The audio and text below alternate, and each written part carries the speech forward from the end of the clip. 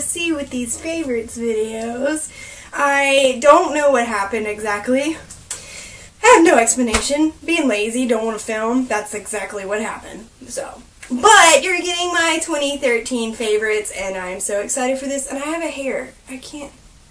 It's like bothering me. It's like stuck to an eyelash. Anyways, see if I can get it. Oh, oh, I got it. I got it. Okay. Anyways, so these are some of the products that I have been loving throughout 2013. A few of them maybe didn't use for the whole year, but I did use them quite a lot. So, I don't know where to start. There are quite a few items here. I think I'll start with some makeup. So, first thing, which is kind of boring, is this e.l.f. powder brush.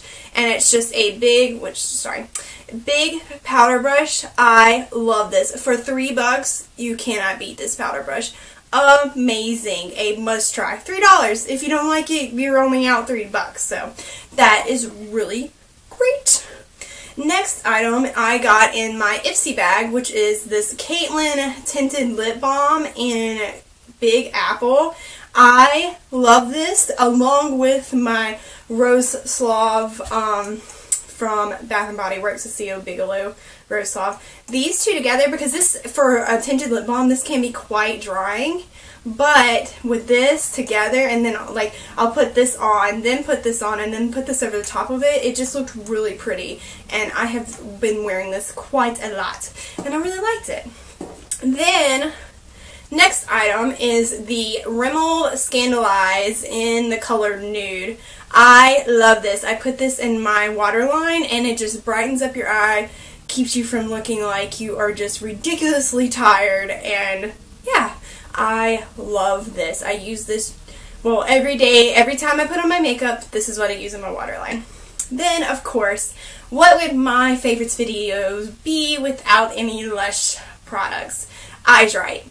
Great mascara. I have a problem with using mascaras and it irritating my eye. Like, I don't know why it does that, what the deal is, but they always seem to irritate my eyes. So Eyes Right, it has like one preservative instead of like five or seven or something like that, and it really keeps me from being like, oh my eyes itch halfway throughout the day, and I absolutely love this product. Then, I had a lot of makeup favorites. The e.l.f. Tone Correcting Powder. Um, I did notice that they have changed these since I bought them, but this one I have hit pan on and somehow it broke on the side and the mirror came out, but it's a cheap product, it's like three bucks as well. I love this. This is really good. I really, I, some people say they can't tell a difference. Maybe it's just in my head that I can tell a difference after I put this on, but it's not like a dramatic, like covered and changed the tone of my face. But I do really, really like this product. It is really good for setting your foundation or you know, tinted moisturizer or whatever you're wearing. Then I have a body wash from Lush, and that is the Flying Fox body wash.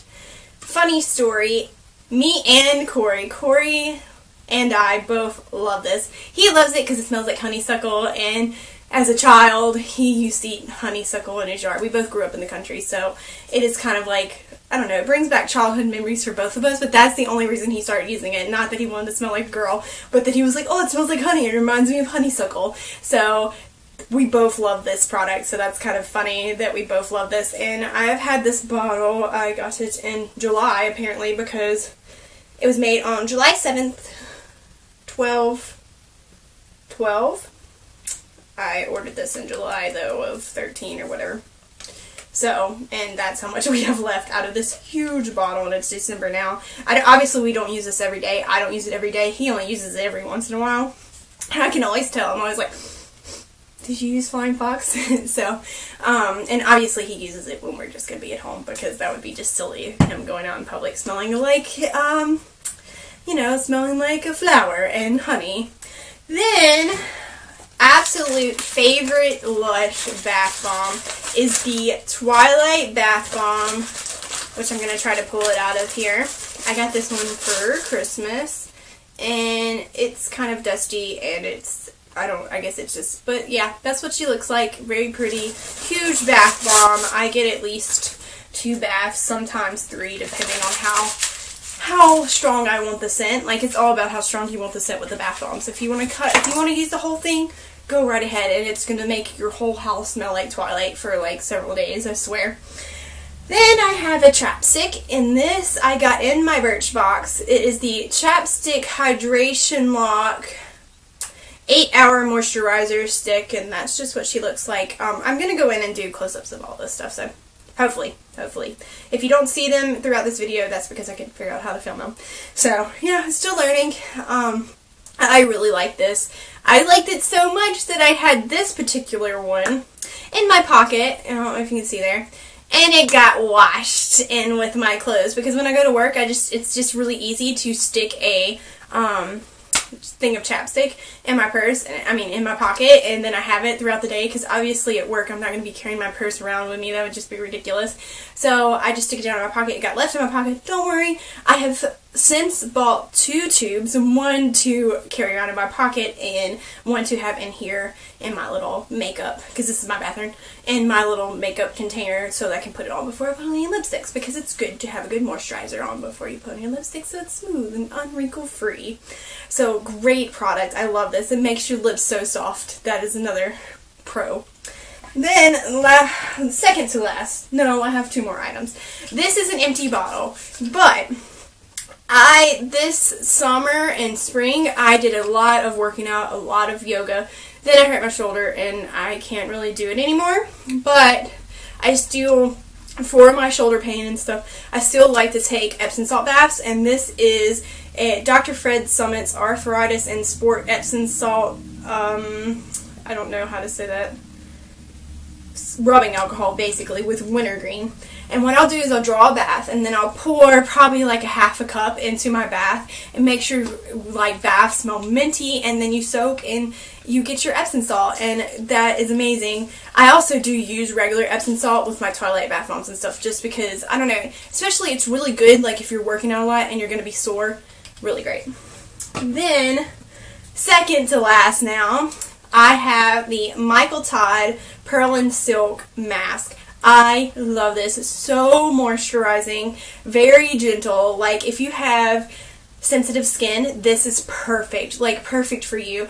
I would not recommend the pumpkin mask though. I'd also have the pumpkin mask for sensitive skin. I love this. Very hydrating. A must must have like you need to have a hydrating mask in your skin routine if you want to ward off wrinkles because lots of times your wrinkles are just hydration lines, like dehydration lines. Like most of the time that's what they are. They're not actual wrinkles. They're just because you're not getting, you don't have a, like your skin's not getting enough moisture. So perfect. This this mask and it leaves your skin so soft. Amazing. I think this might be one of my favorite products like from 2013 is this product like here love it and it's clear so you put it on and you go out in the living room and your boyfriend doesn't freak out. I put on the pumpkin mask and he was like, Jenna, what'd you do to your face? So this one is clear and yeah, so little tidbit, little bit extra thing there. Last product is No Drought from Lush.